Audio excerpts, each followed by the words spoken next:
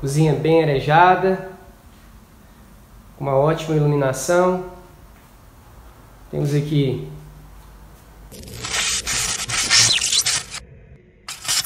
Fala galera, salve salve Diogo Medeiros na área e hoje eu venho aqui para contar uma novidade para vocês. Nos mudamos! É isso mesmo galera, nós mudamos, saímos lá da nossa casa em São João de Lourosa, agora nós estamos aqui em Viseu, Viseu mesmo, em um bairro bem mais localizado, mais próximo do meu trabalho, é mais próximo do shopping Palácio de Gelo, mais próximo também ao centro, aos supermercados, enfim, uma região bem mais localizada. Nós vamos mostrar então neste vídeo o nosso apartamento, vamos falar também como nós conseguimos arrendar este apartamento, ok? E também vamos falar com vocês o valor que na verdade provavelmente é o que mais vocês querem saber, quanto nós pagamos neste arrendamento, ok? Então sem mais delonga, bora pro vídeo. Bom galera, nós moramos aqui neste andar, nesses dois aqui, tá?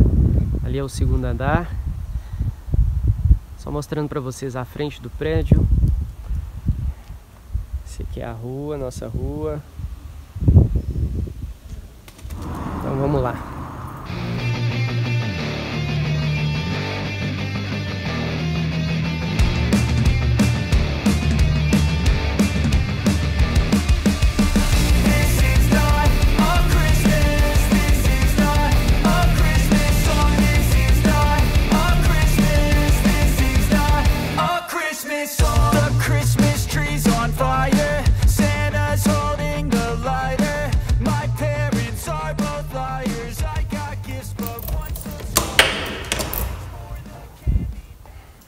Inicialmente nós temos este vão aqui.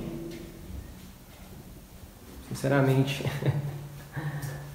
não sei muito para que serve, mas creio eu que deve ser para, sei lá, receber uma uma visita tipo, não é nem uma visita, tipo, sei lá, um, um entregador te entregar alguma coisa e para que você não tenha que mostrar a sua casa Aí você deixa essa porta aqui fechada. Sei lá, creio que deve ser isso. Mas enfim, vamos lá. Começando aqui pela cozinha. Cozinha bem arejada, com uma ótima iluminação. Temos aqui, ela é toda planejada, né? Todos os, os eletrodomésticos, tudo que, que está aqui nessa cozinha são dos donos da casa, que nós chamamos de senhorio. É um termo muito utilizado aqui. Fogão, então, senhorio. Isso aqui é uma máquina de lavar. Ok? Aqui nós temos a geladeira. Minto. Essa é a máquina de lavar. Essa é a máquina de lavar, porém louças. Mas não deixa de ser. É, aqui nós temos essa vista aqui da rua. Da onde eu gravo alguns stories. é, o interessante desse apartamento aqui é que eles não têm janelas. Na verdade, são portas, que elas são uma porta-janela, né? e traz bastante ventilação para dentro da casa, né? Isso é bem interessante. Além de iluminação. Aí nós temos aqui, esse é um apartamento que ele contém dois quartos, os espaços são bem amplos. Aqui nós temos este quarto, nós temos aqui essa vista maravilhosa também, top.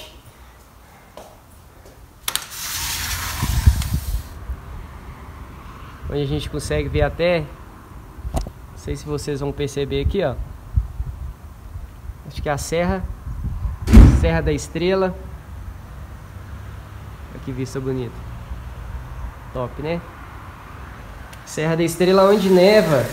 Então Viseu aqui no inverno, provavelmente vai fazer muito frio. Provavelmente não, faz muito frio. Tem um guarda-roupa embutido. Ok?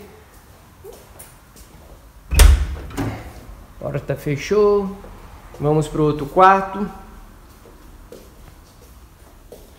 Não tem nada, conforme podem ver, que nós temos a mesma vista, porém de um ângulo diferente. O dia hoje está bem bonito. Este guarda-roupa aqui também já estava, é da casa. Aquela cama do quarto ali é nossa, nós ganhamos. Nós temos aqui o banheiro. Então, saindo deste quarto, tem este quarto. E logo ao lado temos este banheiro. E aí, tamo junto. Aqui este banheiro já é de banheira, diferente da nossa outra casa, né? E aqui, galera, uma curiosidade bastante interessante de Portugal é que a maioria das casas aqui são com esses chuveiros, né? Esses chuveirinhos aqui, ó. Essa parte de cima aqui pra gente é, tomar banho na ducha e caso queira encher a banheira, aí é a opção aqui. Você abaixa o pininho e ele enche a banheira.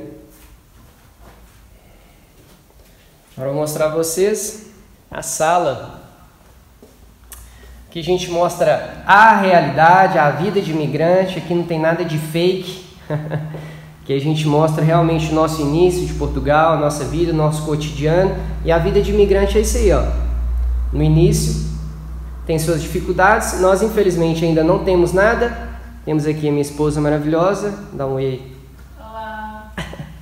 Essa mesa nós compramos recentemente por um valor de 75 euros, é usada.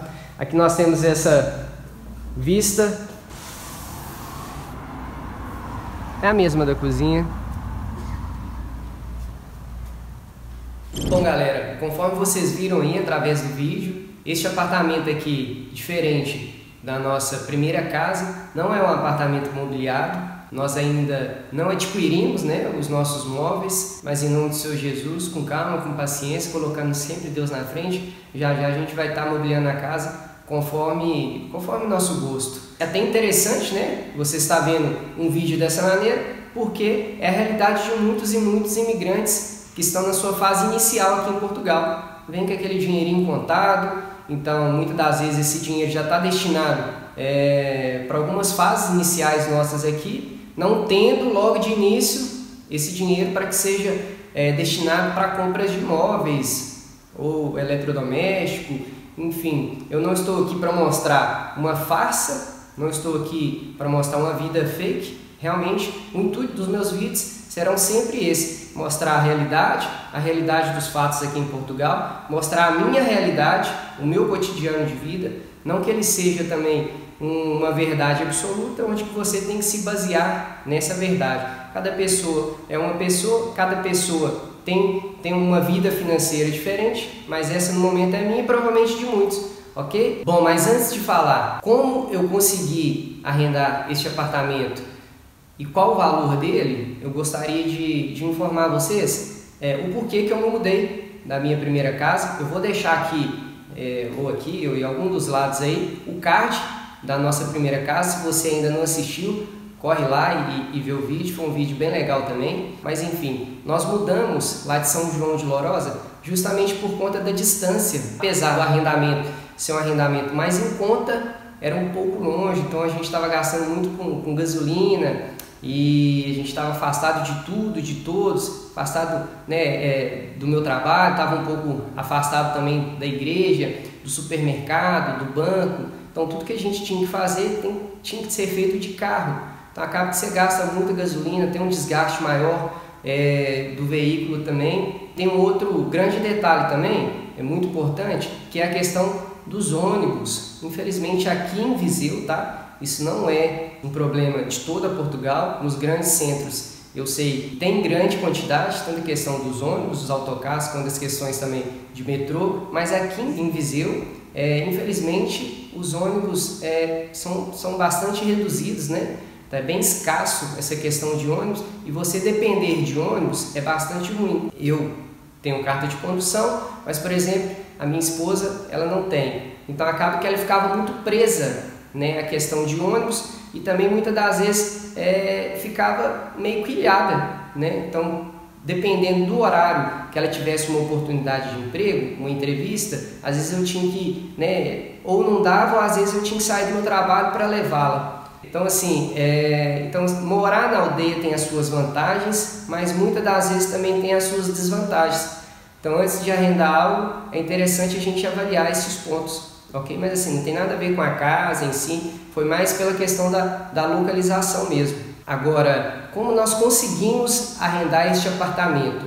É, este aqui, diferente do outro, já não foi através de internet. A minha prima tem uma amiga e essa amiga morava aqui neste apartamento. Enfim, ela estava, ela estava saindo, ela estava se mudando e como a gente estava querendo arrumar algo mais próximo aqui, ela foi e comentou, falou, Diogo, ó, fulano está mudando, por que você não vê lá, conversa com a senhoria? Talvez antes mesmo dela anunciar, vocês já conseguem é, arrendar o, o apartamento. Então foi isso que ocorreu. Entramos em contato com a senhoria, marcamos aí com ela é, de conversar, de tratar né, do, dos assuntos. Aqui eles têm um pouco disso, muitas das vezes, antes de, de alugar algo, eles gostam de conhecer a pessoa, porque dependendo do que eles tiverem em mente, do que qual for a primeira impressão, eles nem arrendam. Então, graças a Deus ocorreu tudo bem. Os donos são um casal, então eles gostaram muito de nós, graças a Deus. E a história deles é bem interessante, que eles também eles são imigrantes, né? Eles saíram daqui de Portugal, novos, e também foram foram emigrar, foram, foram lá para a Suíça e trabalharam muito, deram muito duro na vida para conquistar algumas coisas aqui em Portugal. Então eles dão muito valor para quem é imigrante. Então isso é bem legal. A gente ficou bem contente em saber dessa história dele, desse início deles. É algo também que até é motivacional, né? E eles sabem como que é o início de a vida de um imigrante e, enfim, eles quiseram, fizeram isso também até por uma questão de ajuda. Achei bem legal isso. Mas enfim, quanto pagamos de arrendamento neste T2, neste apartamento com dois quartos? Nós pagamos aqui 410 euros. E o que está incluso? Somente o condomínio. Então, água, luz, internet, é, TV, telefone, o gás, isso tudo é por nossa conta. E o que os donos deste apartamento é, não solicitou, né? Foi somente uma renda, um calção e também um fiador, diferente da nossa outra casa que a imobiliária eles não pediram a gente fiador, mas neste eles já pediram. É um valor que ainda, sinceramente, eu não acho tão barato, mas em vista de como estão os preços aqui em Portugal, este apartamento no bairro onde estou, na região onde nós estamos, é um, é um valor, é um bom valor, né? Não é muito caro, também não é tão barato, mas é um excelente valor. Então é isso, galera. Espero que vocês tenham gostado deste vídeo, tenham gostado da nossa casinha, deste bate-papo aqui bem rápido. Se você gostou, já deixe o seu curtir aí, deixe seu joinha no nosso vídeo. Comenta também o que você achou do valor deste arrendamento. Ah, e se você é novo aqui neste canal, se você caiu aqui de paraquedas neste vídeo, Peço que você se inscreva no nosso canal, beleza? Eu vou ficando por aqui, galera. Fiquem com Deus e até o próximo vídeo. Valeu!